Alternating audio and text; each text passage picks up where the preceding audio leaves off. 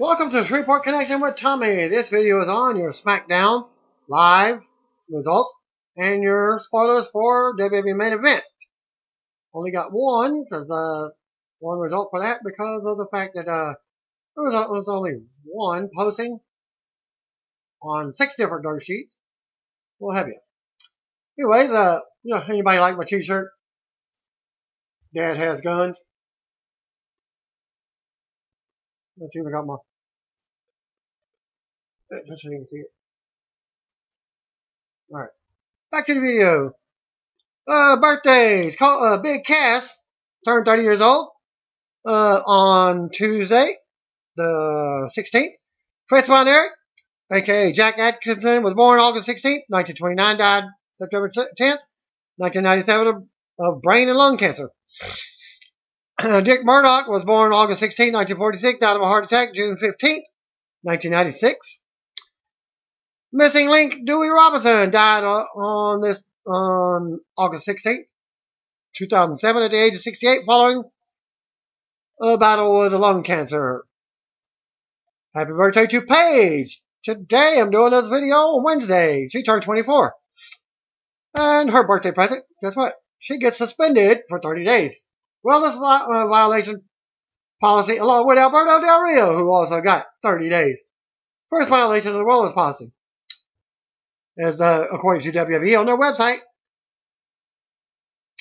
And WWE has suspended uh, Jose Rodriguez, aka Alberto Del Rio, for 30 days, effective tomorrow, being Thursday, August uh, 18th, for his first violation of the company's wellness policy, also Paige. Hers is uh they suspended Saraya Jade Bevis. Bevis. For 30 days effective tomorrow, August 18th. No word on what the what violation test that they violated, but my suspicion just uh, uh, about probably about their domestic abuse last month when they were both arrested after an event. we'll have it. Advertised dark uh, main event from SmackDown was uh, uh, advertised as John Cena, Dean Ambrose, and Roman Reigns versus Seth Rollins, Bray Wyatt, and AJ Styles. Okay, 2K17 changes are in effect. Ladder match overhaul according to this link at IGN.com. Changes so far in real, in real life, a ladder match means high impact, high altitude spots that get the crowd off their off their seats. In wrestling games, ladder matches mean a lot of fussing over how to place your ladder properly. A lot of clunky looking interactions. No more. In 2K17, the ladder can only be set up in five specific locations. In front of each set of ropes, in the center of the ring, just to get close to one, press the right button, and it gets set up properly every time. No more setting it up, climbing to the top. Only find you were an inch too far from the left, uh, too far to the left. On the top of that, you could set a ladder up as a bridge from the apron to the outside barrier, opening up lots of new opportunities. I personally uh, get arm drag from the inside of the ring to the outside through a, through a ladder before I get to do anything more creative. But the possibilities are totally there. Chain wrestling and submissions change. All of all the neat new features we've seen from Yuke's and Visual concepts over the last few years, chain wrestling and new submission system have been the two most contentious. They are not going anywhere this year. But some changes have been made to help address the complaints some of the fan base has voiced. Chain wrestling is no longer automatically engaged at the start of a match. It will still happen if two characters try to grapple each other simultaneously. Or in other situations based on the wrestler's style and personality, but it is no longer the standard way to start a match. While I dig the chain wrestling system, it being the guaranteed match opener didn't make a lot of sense. So I'm glad it plays a similar role as for the submission system, it's been tuned so that you're rotating pie wedges aren't so slippery. It definitely uh, feels like you have more control in submission situations as a result.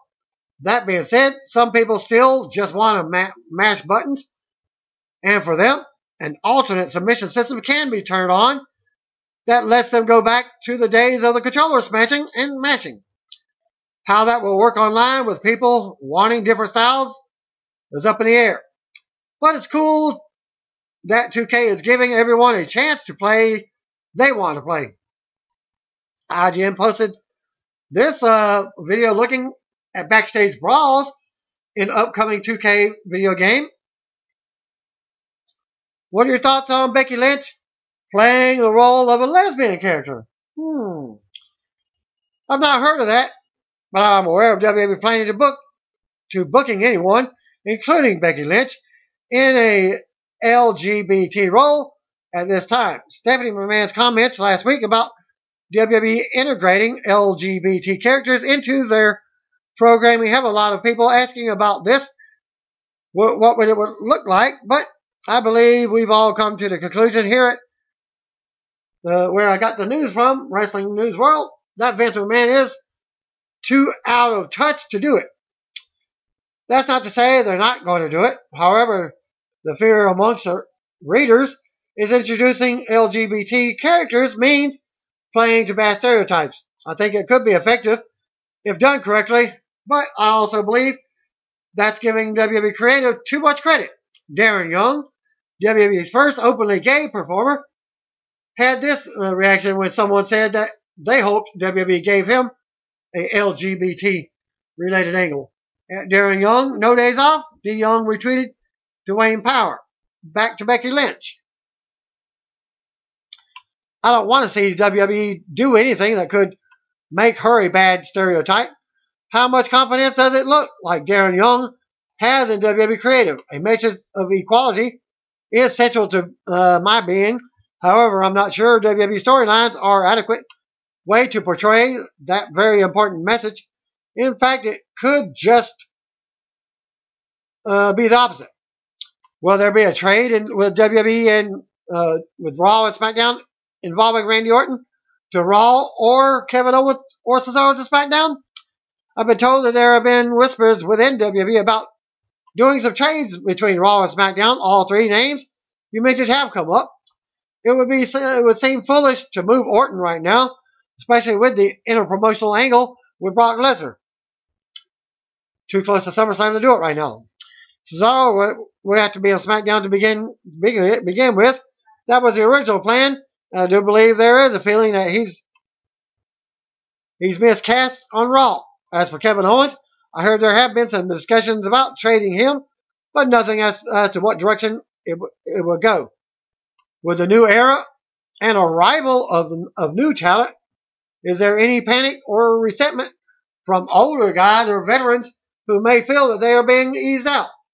A lot of veterans are, are being eased out, and whether there is panic and resentment or not, it's happening, and there's a, that's a good thing. Nothing against Big Show or Mark Henry, that they've uh, had lengthy careers and are now at the stage where it's time to step aside and let some of the younger guys come through. John Cena is adjusting to a, a more part-time talent, and it seems like the Dudley boys are being utilized right now as extras to help the new generation of talent. But it's not just a new nudging out the old. Spots are always at risk. Roman Reigns has lost his spot to Finn Balor. Everyone's spot is on the line. Even stars in the top of the card are at risk. Well, what do you think about TNA's uh, new president? And will it uh, improve TNA's ratings or anything? Well, from what he's done so far, mm, keeping Dixie off, off TV? Maybe. More confidence in Billy Corgan than I do Dixie Carter, but it's uh, too. Is it too late uh, for TNA? They have a chance to continue to be one of top independent promotions around, but they aren't anywhere near they were from 2005 to 2014. Of course, the talent they had back then was why they had ratings. When TNA Impact got dropped by Spike TV, they lost over 50% of their audience and are now nowhere near being competitive to WWE. That doesn't mean that they can't have entertaining TV, nor does it mean that they don't have talented workers. It just means that TNA is more like Ring of Honor and less like WWE. My PYT by a rapper and noted wrestling fan Wale has been announced as another SummerSlam theme song, along with Flo Rida's Who's With Me and Fort Minor's Welcome. Despite winning his match against Randy Orton by disqualification, it's unclear whether Heath Slater is, is signed to SmackDown. Uh, Heath was welcomed back to the blue brand by SmackDown Commissioner Shane McMahon and General Manager Daniel Bryan, which led to a series of awkward events, as you can see right here on this link. This was what, what, what happened on SmackDown. Following the broadcast, there was an in-ring segment between Dolph Ziggler, dressed as Kentucky Fried Chicken founder Colonel Sanders, and The Miz, who was dressed as a chicken suit in a chicken suit, which I'll post that at the end of the, well, at least a picture at the end of the, uh, towards the end of the video.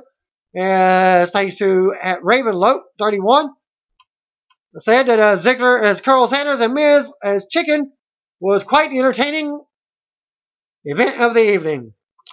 Hashtag SmackDown Live. Hashtag post show.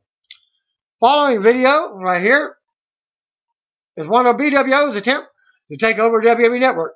BWO's, if you don't remember ECW, Stevie Richards and the Blue Meanie are featured on in video in the video attempting to sneak into the building along with a cameo from Joey Styles, who is no longer with WWE. And again, posting that link for you. Uh, WWE reportedly applied a trademark to Gran Metalik. So I guess he's actually got his WWE deal, which is a clear sign that he has accepted full-time contract offer. And here's a video of Curt Hawkins' return on SmackDown in the near future, as it's a promo, which happened during SmackDown as well. WrestleMania Radio uh, WrestleZone Radio exclusive featuring WrestleZone Dailies, Nick Hausman interviewing former tag team champion Nasty Boys, Brian Knobbs. Starts the interview with Nick before Jerry Sag joined in. The interview shortly after on WWE's decision to infuse more cruiserweight wrestling into its product. As uh, Jerry Sag says, once you stick yourself in that cruiserweight or lightweight niche, when I see it uh, now, it's slowly turning one of the greatest wrestling companies into, into looking like an independent, like a TNA or something like that. I think it's wrong. I think the way that they're doing things now is wrong. The, the style of wrestling should be part of a card, but not every freaking match. That's bullcrap. That's one of the big mistakes that they're making right now. Yeah, cruiserweights are a great thing. 150 pound guys that are that size or whatever, yeah. But they shouldn't be wearing the WWE title. That's a joke. They should barely be able to get around the Intercontinental title, Intercontinental belt. Well, Brian Knobbs says, I take it like everything else. Everything changes. Nothing says stays the same. So if that's the way it's changing and the people are still get, getting with it, it looks like they are, that's the way to go. They still have some some big guys. Look at Cass with the buddy Enzo. He's my favorite. And Jerry comes back. Well, look at the ratings. Look at who was drawing. The house show, the gates. Look at the pay per views. Is it really working? Just wait and see when the cruiserweights do show up. I'll throw that my part in there. Uh, the Nasty Boys appearance in conjunction with their upcoming appearance at Legends of Wrestling Night at Marlins Park in Miami, Florida on August 27th. Some topics also in, uh, highlights uh, included the origins of the pit, uh, pit, uh, pit uh, Pity City, pit stop, and what legends helped them come up with it. The upcoming Legends of Wrestling Night at Marlins Park in Miami on August 27th was announced. Jerry's memory of growing up with Brian and the Backyard Wrestling Company he used to run. Their favorite memories from SummerSlam WWE's decision to do less shows at classic venues like Madison Square Garden More big men in pro wrestling trying to act like cruiserweights. New Day as the tag team champions. WWE's decision to make Brock Lesnar exempt from their wellness policy. Why Kevin Owens would have fit in with the Nasty Boys. And more.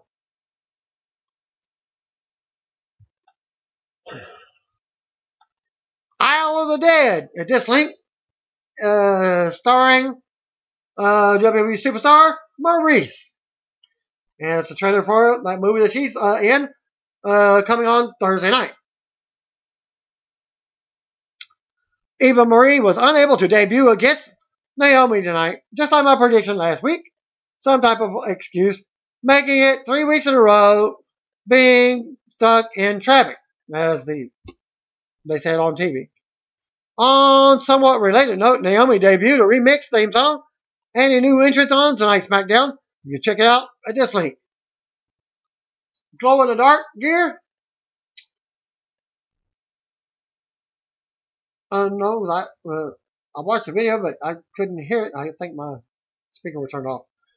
Kay Wigan attended a Raw event in Corpus Christi, Texas, and sent on, uh, said on Monday night and sent the following report.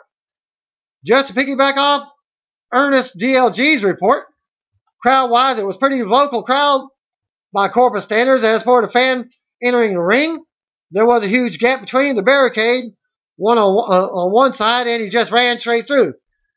The security was fighting him on the ramp throughout the uh, entire Finn Balor and Seth Rollins segment. The guy was yelling at kids before the show in front of the arena about God smiting them for being sinners, and he was obviously on some pretty heavy stuff. It's a wonder he got into the arena in the first place. We also had another fight break out between security and an unruly family during the main event, and the family was ejected from the building. Go to this link for an update with Brooke Adams.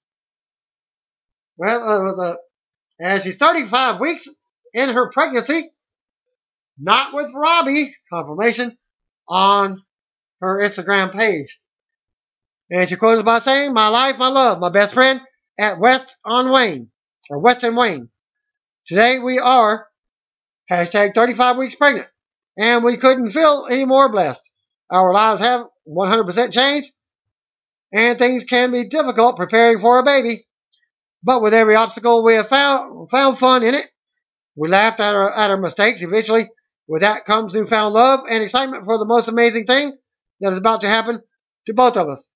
Hashtag proud, hashtag excited, hashtag scared, hashtag ready, hashtag pregnant and perfect, hashtag love your bump, hashtag pregnant fashion, hashtag pregnancy, hashtag maternity, hashtag bun in the oven, hashtag bump and I, hashtag pregnant and fit, hashtag fit pregnancy, hashtag prego, hashtag mommy to be, hashtag it's a boy, hashtag bump fashion again, and hashtag love. Undertaker's wife, Michelle McCool, and their daughters were in the crowd at the SmackDown taping, uh, live event, uh, SmackDown Live TV, as they live in the area and were sitting at ringside. I didn't see Michelle. Did uh, Renee Young uh, posted on Twitter said she's got a possible injury. Unknown, but uh, she did say on Twitter today at Renee Young, WWE. Pretty sure I broke my ankle yesterday. More on the story as it develops. SmackDown pre-show at this link. Main event spoilers. Kane uh, defeated Ricky Starks. Baron Corbin defeated Rhino. And I think I got a picture of uh, Baron Corbin and Rhino. But Kane and, and Ricky, sorry. My my luck too. Lately, my luck ain't crap. SmackDown. Well, okay, uh, SmackDown video from from a fan from WWE main event. Picture uh, on Twitter for you. SmackDown opened up with Shane McMahon and Daniel Bryan backstage talking about SummerSlam. Randy Orton appeared as Shane has a contract for him to sign to make Sunday's match against Brock Lesnar official. Somebody knocks on the door and in comes Heath Slater with a fruit basket. for the Blue Brand bosses. He tosses an apple to Orton. The basket is addressed to Bob, addressed to Bob, but Slater says it was supposed to be Boss. Slater mentions standing toe to toe with Lesnar on Raw last night. Shane says that was impressive, but he dissed them last week. Orton bites into the apple and says he has an idea. We go to the SmackDown opening video. video. Well, I'm already getting it. Well, Orton versus Heath Slater was my prediction, and wait for the results. Uh, we're live from Austin, Texas. Maryse is in the in the ring with Intercontinental Champion The Miz for their Miz TV. She gives her husband a grand introduction as the fans boo. Miz welcomes us, but is quickly interrupted by the music as WWE Champion Dean Ambrose makes his way out to a pop. I didn't get to see most of this segment. Uh, my feed wasn't coming in. Ambrose starts in about how he can't stand Miz's voice and SummerSlam. He's quickly interrupted by Dolph Ziggler making his way out. Ambrose and Ziggler have words and look ready to fight, but Miz gets in between them and reminds us this is his show and they are his guests. He's invited them to talk, not fight. They end up trading promos as Miz and Maryse watch from the corner. Ziggler lays Ambrose out with a super kick right in the middle of a, fiery promo. Ziggler says Ambrose will see he is that damn good on Sunday. Ziggler walks off as his music hits. Well, as he was saying something, he was like bending down. And Ambrose was actually kind of like looking at it, uh, going down with him. And up comes a super kick. We go to Mauro Ranallo, David Otunga, and JBL. Still to come segment. Uh, John Cena versus Alberto Del Rio and Randy Orton versus Heath Slater, who has another shot at a contract. Up next, a 12 man tag team match. We go to commercial. Usos, American Alpha, and the Hype Brothers versus Vaudevillains, Ascension, and Breezango. And I kind of knew that this match wasn't going to last very long. I think it lasted maybe three or four minutes. Back for the break, the Usos were out first, followed by Chad Gable and Jason Jordan. Zack Ryder, and Mojo Rawley were out to uh, finish off their introductions. Vaudevillains were out first for their team, followed by Ascension, Tyler Breeze, and Fandango were out last. Breeze and Gable got start start things early off. Victor tagged in, keeps control of Gable, talking trash and dropping him for a two count. Gable count, counters and tags in Mojo. He takes out Victor's leg and nails him in the corner. Ryder tags in for a double team, but Connor makes a save. Everything falls apart. Both teams brawl inside the ring as we go to commercial. Back for the break. Usos clean house. More chaos with everything. Everyone hitting their finishes. Usos hit double super kicks. And then one of them hits a big splash. The finish uh, sees American Alpha drop Aiden English on his head for the win. Like I said, the whole match may have took, even with a commercial break, I give the whole thing four minutes. After the match, Babyface Tag Team celebrate together in the ring. We got backstage to Dean Ambrose, and he doesn't look happy, holding his chin. He faces Eric Rowan after after commercial break. Also, still to come, Eva Marie's spectacular debut. About the commercial. Next up, we got Naomi versus Eva Marie, supposedly. Back from the break, and we see Eva Marie's wardrobe malfunction from last week. Then we go to the ring. Out comes Naomi with new entrance. She's glowing a bunch and dances before passing out, gl- uh, glowing swag, swag to the crowd. Eva Marie was out next as a voiceover gives her a grand introduction, sounding like Michael Buffer. The voice immediately announces that Eva is stuck in traffic and will be unable to compete. And she apologizes. Naomi uh, looks upset as JBL rants about how Eva should fire her driver. We get a look at some history between Cena and Del Rio. AJ Styles backstage with Del Rio talking to him. AJ is uh, going to have a front row seat to see Del Rio beat up John Cena tonight. Styles uh, goes on about how Del Rio put Cena out of action, and Del Rio doesn't want to hear it. Del Rio says he's been beating up Cena for a long time and doesn't need AJ's pep talk. AJ points out how he's in the main event of SummerSlam and Alberto's not even on the card. Styles walks off. Still to come segment. Ambrose versus Rowan. Also Orton versus Slater. Back to commercial. And that matchup, that matchup is next. Randy Orton versus Heath Slater. Back from the break. Out comes Randy Orton to a pop first. Heath Slater was out next as he looks to win his SmackDown contract. Orton goes to work as soon as the bell hits, and he doesn't let up. Orton takes Slater to the corner and unloads on him with the right hands. Referee warns Orton, but he won't back off and gets the disqualification. Heck, he was doing all of his uh, stuff, and it's like they didn't even announce it until after they came back from commercial break. And even my mom was like, what the heck just happened? Who won? Well, so I had to explain to her, well, you keep on doing what the referee tells you to break after a five count, you probably get disqualified. after the match, Orton tossed Slater to the, to the floor as the fans cheer. Then Orton uh, tossed Slater over the announce table into Otunga. Orton uh, keeps control and brings Slater in the ring. He mocks Brock Lesnar, uh, dropping Heath Slater with a German su- suplex and bouncing around. Orton hits RKO on Slater and ends up in the segment by standing tall. Actually, he, he gave uh, two suplexes to uh, to uh, Slater. He was teasing the third and just gave him the RKO. Wyatt family graphic flashed and Bray Wyatt announced they're here. Back to their old. They went and blowing out the candle. Well, he just said, we're here. Back for the break, Slater is receiving medical attention in the back. Shane and Bryan walk in with a contract. Slater is thankful and mentions showing no mercy. Bryan says no mercy is a good name for their upcoming pay-per-view and thanks Slater. Slater is dazed and starts talking about Holy Foley. Thinking Bryan is Mick Foley, he then uh, thinks uh, Shane is Stephanie McMahon, calling him beautiful. Shane takes the contract and then and they, and they leave. He's like in a daze, like he's trying to sign a contract. He never does sign a contract. Shane gave him a pen, but he never did sign a contract. Well, he wakes wakes up and like, does it does that little thing. Where's my contract? Where's my contract? Where's my contract? Ends the segment. Back from the break, Eric Rowan awaits in the ring with Bray Wyatt. WWE Champion Dean Ambrose is out next. The bell rings and Ambrose goes wild, but Rowan floors him.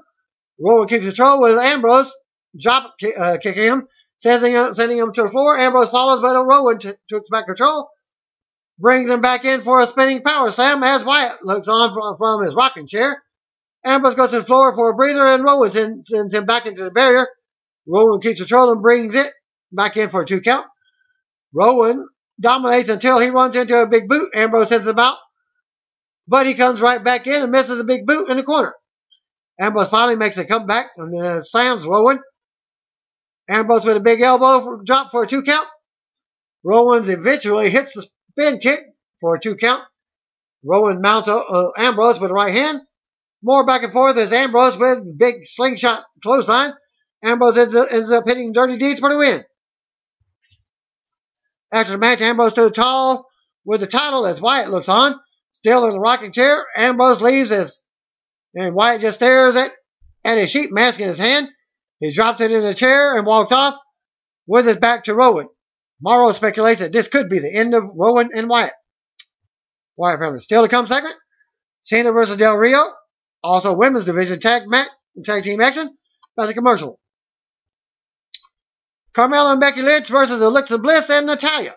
Back from the break, Natalya waits with Alexa Bliss while Carmella makes her way out. Becky Lynch was out next. Natalya and Carmella started things off, back and forth action. Carmella got the upper hand and taunted Natalya. Natalya caught her with a big clothesline and turned it around. Bliss comes in and keeps Carmella grounded. Becky finally gets the hot tag and unloads on both opponents. She goes at it with Natalya and then gets fired up. She goes on until Eva Marie's entrance starts up and interrupts. Eva makes her way out to the stage as the voiceover gives her the grand introduction again. This is interrupted by a Naomi. Naomi chases Eva around the ring and gets back and back in. Eva runs right right out while Natalya grabbed Naomi, sending her out of the way. She uh, she came in. Becky attacked, but Natalya rolled her up. This leads to Becky making Natalya tap to the Dis-arm-her. After the match, Naomi joined Becky and Carmella in the ring for a celebration. Still to come, a look at Lesnar versus Orton back to commercial. We come back and Baron Corbin is holding Kalisto's face to a wall backstage. Hmm. A repeat of a couple weeks ago. Corbin threatens to continue beating on Kalisto. Officials try to get him off. Corbin says he does what he wants, to who he wants. He jacks Kalisto up again and walks off.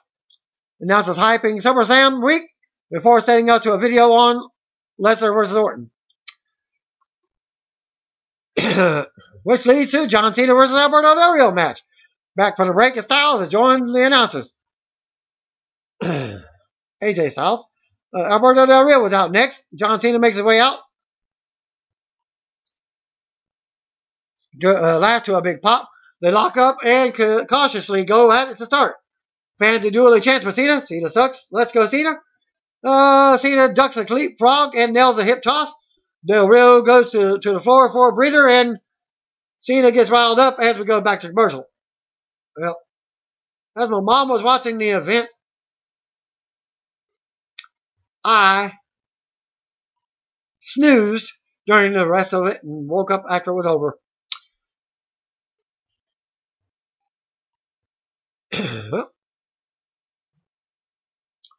okay, well, Cena ducked a leapfrog and uh, nailed a hip toss. Del Rio was for the floor for a breather. Cena got riled up as we go to commercial.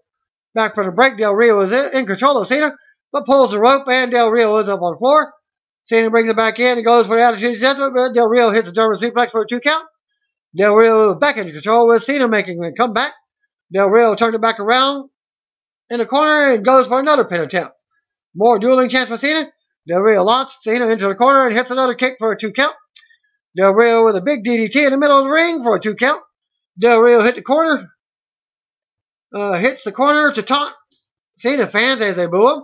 Back to commercial break. And Cena down in the middle the ring. Back from the break, and Cena is making another comeback. Del Rio eventually cuts him off with a backstabber, but that's not enough. Cena catches a super kick and tries to get a hold, a hold locked in. Del Rio counters with a tilt and roll backbreaker. Del Rio misses the corner and Seguri. Cena with a big clothesline that gets an instant replay. Cena goes up top, but Del Rio hits an enziguri for a close two count. Cena counters a cross arm breaker with an STF, but Del Rio makes it to the bottom rope. Del Rio, Del Rio with a kick to the midsection and then one to the face. Del Rio with another close two count. Del Rio slides out of an attitude adjustment and applies cross arm breaker in the middle of the ring. Cena powers up and nails a power bomb. Cena nails the attitude adjustment covers for the win. After Bell, Cena stands tall and celebrates. AJ springboards in with a phenomenal forearm and drops Cena as fans boo.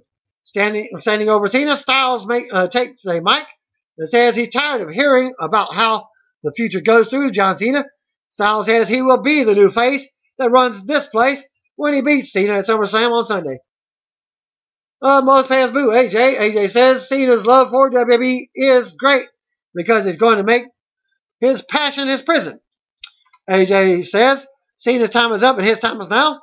AJ drops the mic and goes to leave, but comes back and grab grabs Cena. AJ calls for a Styles clash, but Cena turns it into an attitude adjustment. Cena stands tall as his music hits. Cena goes to ringside and takes apart the announce table. Cena slams AJ's head into the ring steps. Cena walks up up the steps with AJ and drops him through the announce table with an attitude adjustment. Cena music starts and back back starts back up, and he returns to the ring to celebrate as we go to replay. SmackDown goes off the air with Cena making his exit and AJ down the ringside. I did see some of that because I've uh, seen the uh, YouTube videos uh, for what uh, just happened there. Dark Saber after uh, after SmackDown taping saw Dolph Ziggler as Colonel Sanders take down Intercontinental Champion The Miz dressed as a chicken. Apparently, this was some sort of uh, segment for WWE sponsor KFC. Show you a picture for that. Dark match main event. After SmackDown saw Raw superstars Roman Reigns and Seth Rollins go at it. Correspondent uh, Rick Bruger noted that the crowd seemed split 50-50 for Reigns, but Rollins got strong reactions as well. Reigns ended up winning the match after hitting a spear and a Superman punch. Non-title match, uh, whatever. And a photo uh, uh, for Miz and Ziggler ending that uh, segment for you.